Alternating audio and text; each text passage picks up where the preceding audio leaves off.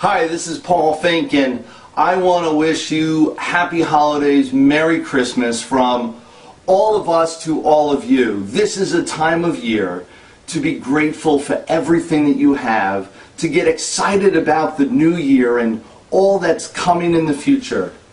And I look forward to being there with you on your journey throughout this following year and throughout your lifetime as we prosper and move forward to create even more than we ever thought possible. Here's to the dreams that we all have in our head. Wishing you a Merry Christmas and a Happy New Year from Paul Finck and my whole family to all of yours. Take care now.